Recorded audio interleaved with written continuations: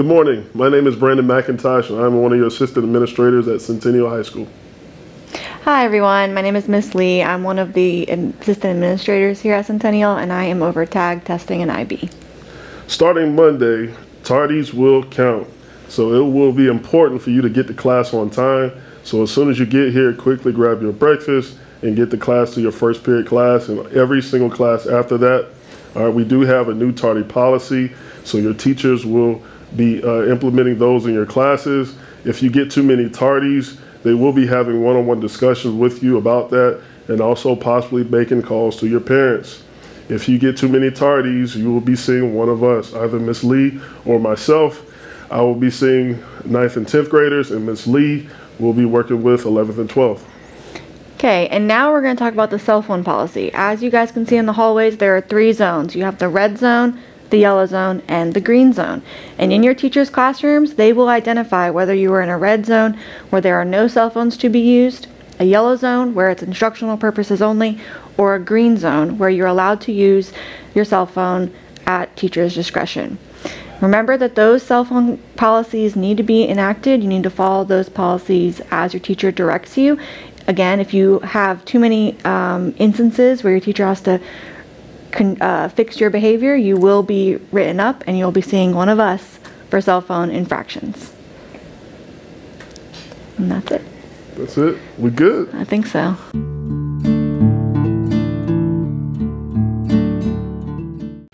Everyone, I'm Miss Leggett. I'm the PBIS coach along with Miss Schwarzenfeld. We are here to tell you that you can earn points by showing respect, integrity, and community to attend events that we're going to advertise throughout the school year. And you can also cash in those points at your teacher's store. Good luck and be kind, show respect, integrity, and community. A late April evening, Christine and Jim McHenry cheer on their son's lacrosse team as they move closer to the state championship. The Centennial Knights are strong this year, with ambitions of going all the way. For the McHenrys, the season is not what they expected. Jamie McHenry's number 8 jersey sits on the sideline. He was a fabulous son. I was proud to be his father.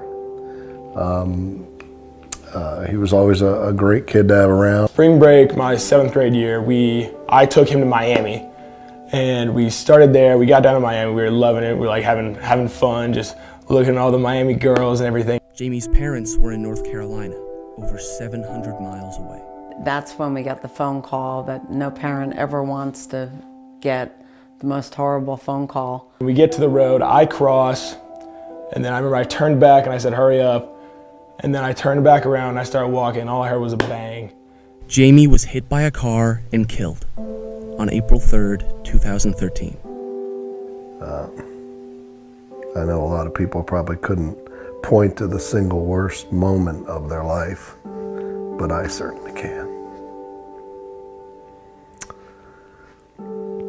In the days and weeks after, the McHenrys struggled to understand. One of the biggest problems is that you you want to you want them to go on. You want to keep caring for them and and and having them in your life. I just felt like you know we can do this. We just have to get through these hard times, and by forming the um, the Jamie McHenry Foundation, I feel like that's kind of our way of continuing to take care of him.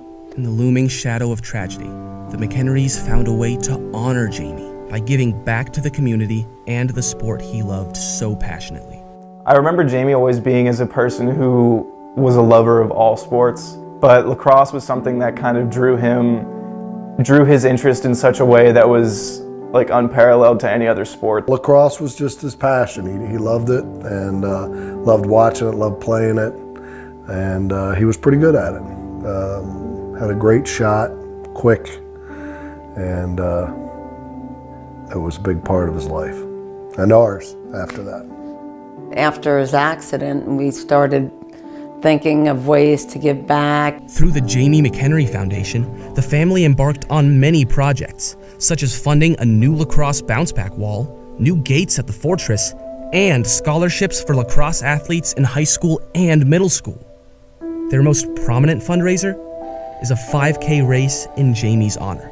We have it at Centennial High School. It goes right through the parking lot of the, his elementary school, Hillside Elementary. And what better name for the race than Jamie's lacrosse nickname? Rocket Shot was Jamie's nickname in lacrosse, and he was given that uh, by his teammates and by his coaches based on the velocity of a shot on goal. He had this wicked kind of wind up where he, you know, and people would duck. The McHenrys have sponsored this event every year since the accident, and it continues to bring the community together.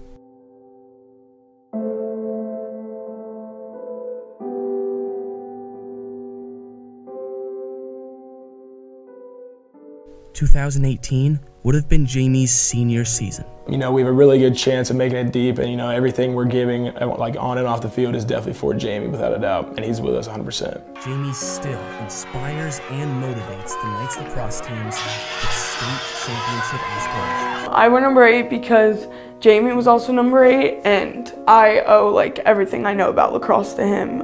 Now in high school, we're like doing really well, so um, I think gives me and all my teammates something to work for and play for him.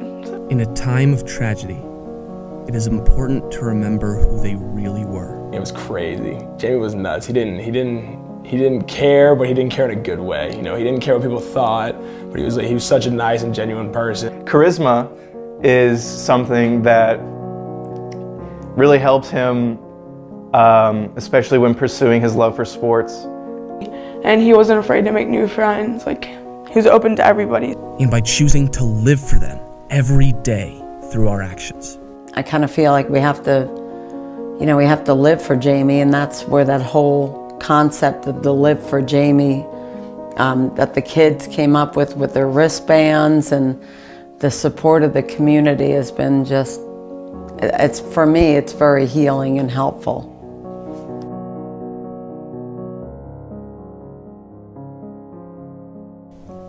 Live for Jamie.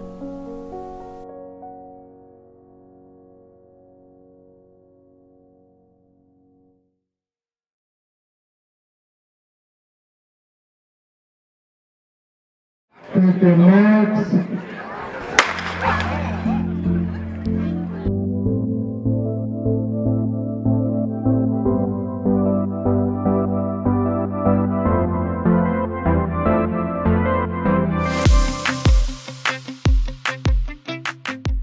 We started the Live for Jamie shortly after he passed. All of his friends came up with the Live for Jamie concept.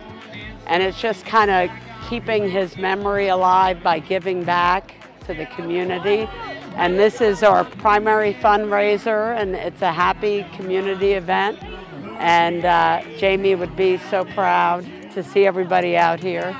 The McHenry Foundation is awesome for basketball. They support us. They give scholarships to, um, you know, a male and a female player in both uh, our Junior Knights program and our varsity program, um, you know, which is awesome for our kids. Um, so, you know, I come out support them because they support us and they're just a great family and great people. Um, today we ran the Rocket Shot 5K, which is um, in memory of Jamie McHenry and we all just came out to support um, the foundation. It helps bring everyone together um, and raise money for a good cause, and it really unites um, not only people for Centennial, but just people all around the community. I feel like it just brings the community together each year at the beginning of the school year. You get to come out, you get to run with like your friends, your coaches, teachers, um, and it's just fun to see everyone together. I love that we have different lacrosse teams here represented. We have different, you know, the Centennial Athletics, we have the softball team, cross country, I think we have a couple of cheerleaders, so it's just,